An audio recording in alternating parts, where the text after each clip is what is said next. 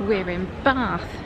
It's the evening. We've booked a session in Thermae Spa and I'm really excited. CSI Mevagissey. This is a heated rooftop bath, is that Swimming right? pool, Swim- yeah. So yeah, it's pool. heated by one of the thermal springs. They take that water and it's pumped around a couple of swimming pools. One is indoor, one is outdoor, I believe. Okay. There's other treatment spa opportunities. There's a sauna, hot room, and an ice room as well. Um, there's been mixed reviews online about this place. Right, there? yes, there has. Yeah, some people say it's absolutely fantastic, and other people says say completely the opposite. It's yeah. terrible and to avoid. But we want to come and make up our own opinion. Yeah, so let's go and visit. Here's some of the reviews in the meantime. Unique experience. Overhyped. Dirty and unsanitary. Out of order. Overpriced and crowded. And my personal favourite, cowboy outfit. Don't waste your money. What I found really interesting though is when you look at those TripAdvisor comments, Yeah. there's a huge variety on there, isn't there? They go from one all the way to five, and everybody seems to have a different opinion. Thermae Spa scores 4 out of a possible 5 stars on TripAdvisor, so everything seems to be going okay. But let's take a closer look. The spa gets plenty of reviews ticking through. For the past 6 months, 127 reviews have been posted, with an average score of just over 3 stars. So, is it world class? Or is it a rip off? Let's find out. Thermae Spa is a unique experience in the city of Bath. It uses the natural hot spring water to heat two pools, one of which is a rooftop pool. It's promoted as a luxurious and relaxing spa. We paid £41 each for two hours in the building, and this includes getting changed. It's monitored by a wristband issued on entry. If you spend in the cafe, you get an extra 30 minutes. Unfortunately, we arrived at 6 o'clock and the cafe shut at half past 7, so we didn't have an opportunity to use the cafe.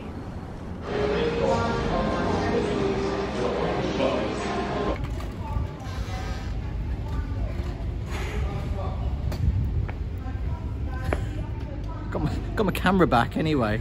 Got my phone I felt, I felt naked without my camera. I know. It's a bit weird, isn't it? I felt naked without my phone. We need to explain that there is no mobile phones, no cameras, no photography. Very, very strict. You have to put your phone in a pouch.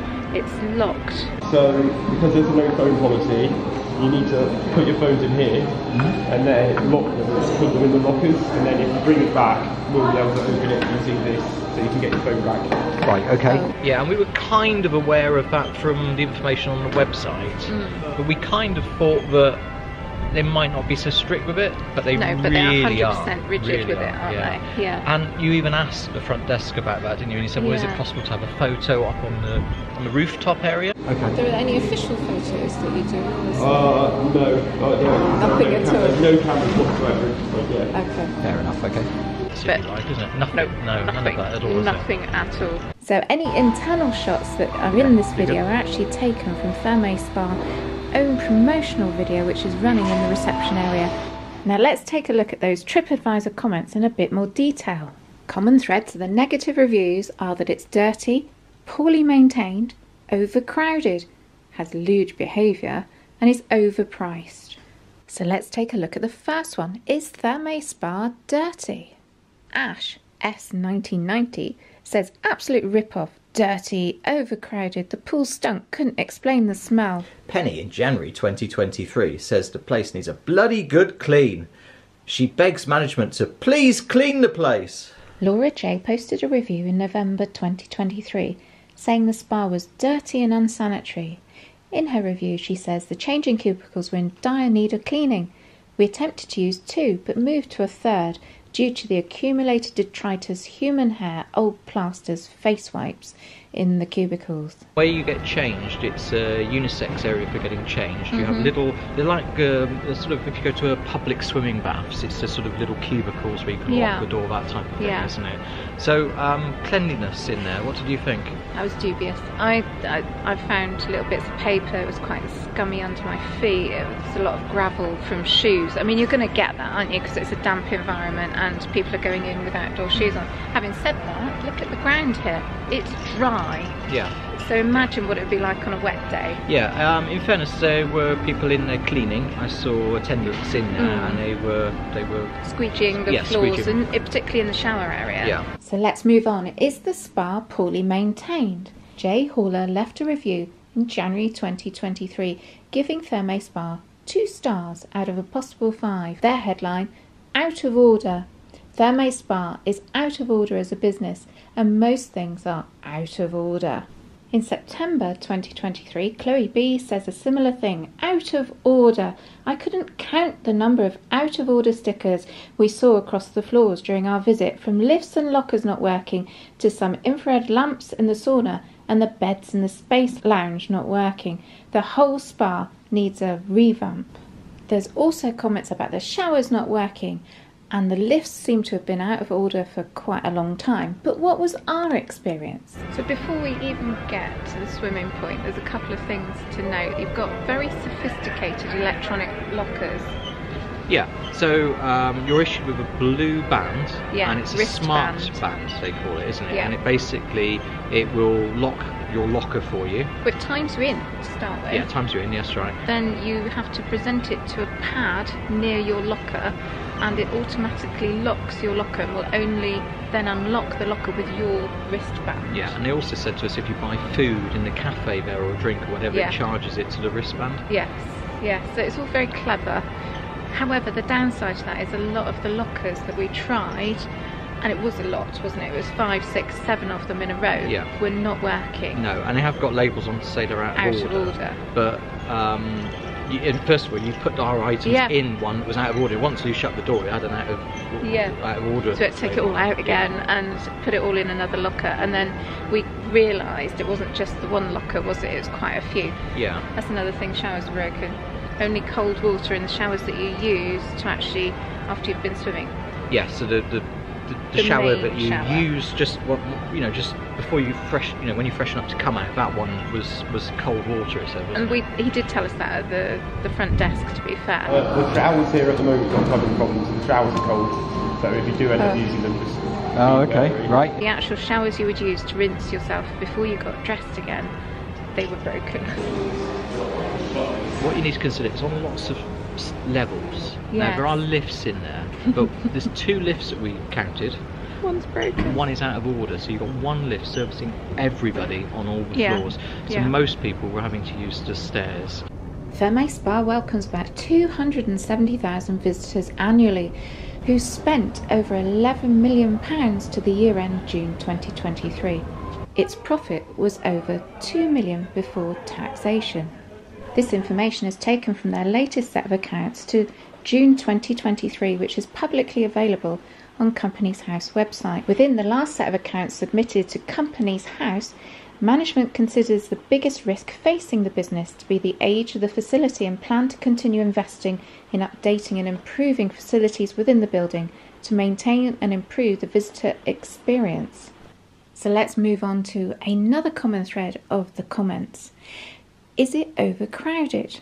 What was our experience? Our first experience, we went up to the rooftop pool, beautifully warm, and it's so buoyant. You get in and you immediately float, don't you? Yes, yes. And there's two bubble spas, one in each corner, and a, a fountain that you can go under. Nobody was swimming. It's purely social, Yeah. isn't it? And it's um it's a reasonably decent space up there. The lighting Yeah. is nice. We, Yeah. we've, we've chosen an evening swim, and it's January. Yeah, and It's it was- actually quite mild. it It's about really 12 nice. degrees, and it was lovely up there, wasn't it? I reckon it was. It's quite busy.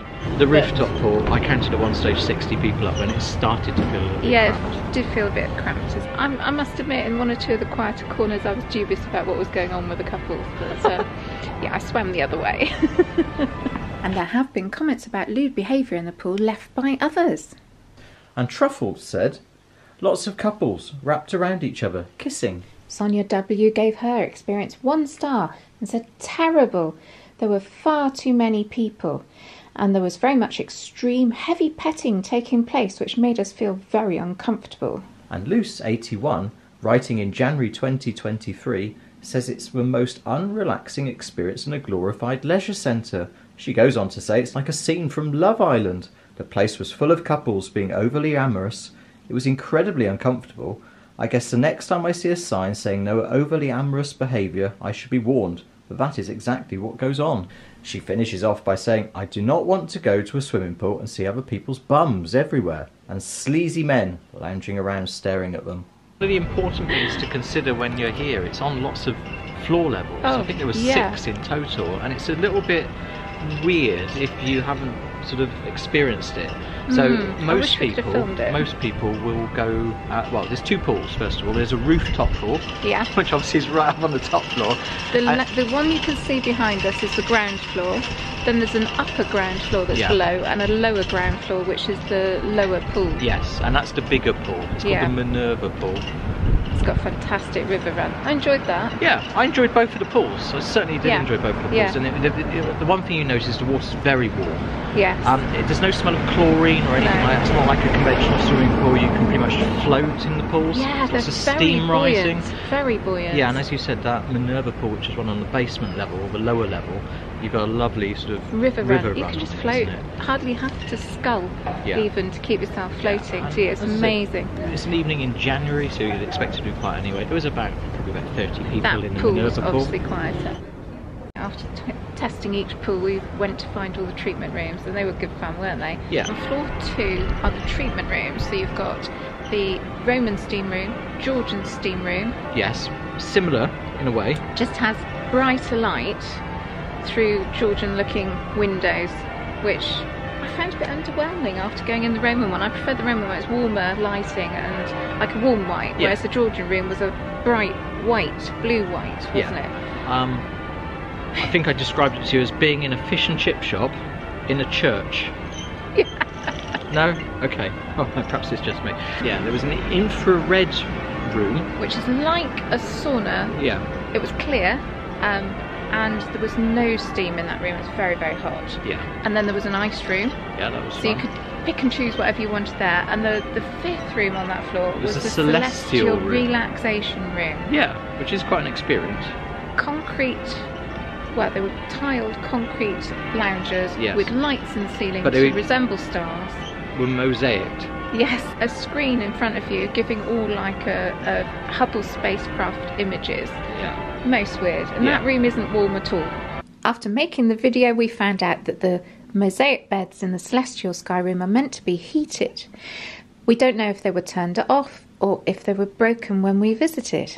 So we've got five rooms. Your favourite? Um, I liked the um, the Roman Roman steam, steam room, room. for me yeah. as well. Yeah. Yeah. Yeah, I thought Yeah. that was good. So we just stood outside the building taking various shots. This is the closest you're going to get to filming our experience. And we can see the trolleys full of dirty, wet towels and robes. Hmm. And that reminds us there is nothing, nothing that identifies your robe. They are all white. All of the towels are white. Yeah. And you've literally got to hope that your towel is there. Yeah, so when you go around, if you're in the on the rooftop Yeah. swim, they've got little, I'd, I'd call them like a, a cubby hole, Yeah, like a little square, aren't they? open wire. And they're on trolleys, I think, and they take about 16, I think, are counted there, little, Yeah. little sort of squares, and you can, you can obviously put your towel and robe into those. But there was four trolleys all the way around at Yeah. different places, and, And you can were see that people dumping them on top, weren't Yeah, they? And yeah. it was a really bizarre thing that you don't know where your towel's going to end up. I did hear one woman say she'd left a blue band in her robe. Oh, yeah. so Um, then what do you do? How do you get in your locker? Yes, yeah. Um, I actually thought those robes were quite comfy, but you, you said yours wasn't. Oh, I think it's just because you have to. Uh, we wore it as we walked around between all the floors, and as you can see, I'm going to turn the camera around. The stairs here. I don't know if it's if you can see it, but you can actually be seen. These are the stairs that you use as you navigate your way around Yeah. the building, and they are open to the public. And I don't want to be walking up and down No. in my swimming costume, not at my age anyway. so I was wearing my robe, and as I was wearing my robe, the water from my costume was getting the robe wet, and then it does cling to you and it drips all down the back of your legs. And finally, let's consider is the spa overpriced? So it was £41 per person for an hour and a half swim. You never told me that. Would you go back? Um, I would. You'd pay another eighty-two pounds tomorrow. No, not tomorrow. no, because I would have to save up for that. Um, no, it's a treat. It's a treat. If you're in Bath and you, this is the only way of taking the Roman baths, Yeah. effectively is what you're doing. It is it? You are unique to swim in the bathing in the waters of Bath, and I think as an experience, I would do it again. Um, but I probably wouldn't do it for another ten years. It's not something I would come and do every week. For me to do it again, I want things working. I want the wristbands working. I want the lift working, and I want a hot shower at the end of it. That's Mhm. ridiculous. So for me, that would have to peg it back. It's expensive. Mm. What it, it basically the downstairs bit is just a posh hotel swimming pool. So however much you guys pay for a local swim, yeah, it, it's expensive, isn't it? Forty-one pound per person for an hour and a half. Yeah. To sum up, there are things in there that are broken. Um, the wristbands and the lockers, obviously, that's a technical issue.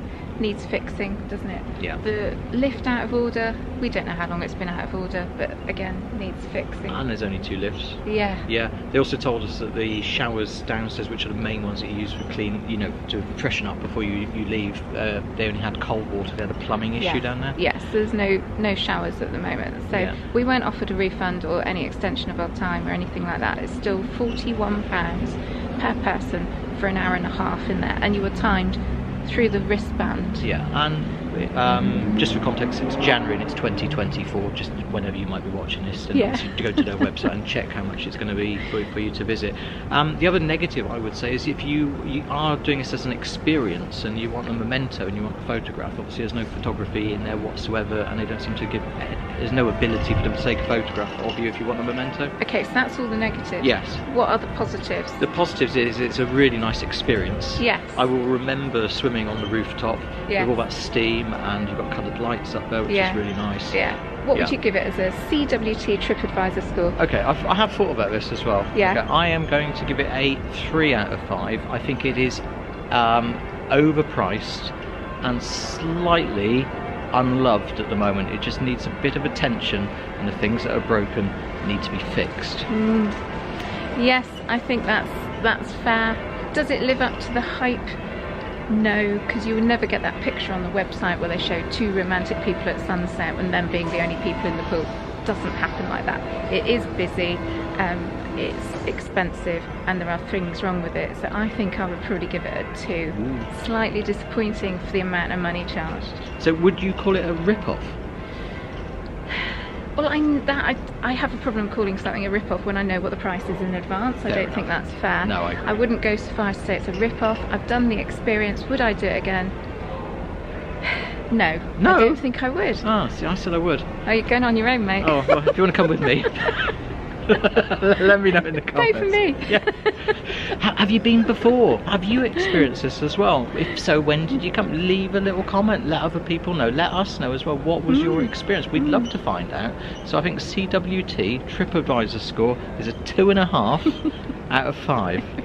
Do you agree with that? Yeah, yeah, Okay. yeah, I do. Yeah. Thanks for joining us. If you enjoyed the video today, then give it a thumbs up. Obviously, it's a difficult one to film because we're not allowed to film in there, but we've done our best and we've tried to give you a fair review. Yeah, I've got nothing more to add, so we'll see you again next time. Bye. Do you think this is an undercover sort of operation that we're doing? And we're gonna we're gonna pull the plug. We've just dived straight in there. They won't like us for this review. They're gonna call us scum. I think it's time we went. We are going home now. We are signing off for real now. So, hope you've enjoyed this rather weird video. we didn't quite know how to tackle it, did we? Join us next time for a really weird video. Just one last thing. yeah. Did you feel like a Roman? I did when I was in that Roman steam room. I, Yeah. I did because you you've got the mosaics on the wall, haven't you? Yeah. And it, it, you know, it does. I think I think that part of the experience for me was good. Yeah. Yeah. I did a tiny bit, just a tiny bit. The rest of the time I just felt like a modern person in a bath.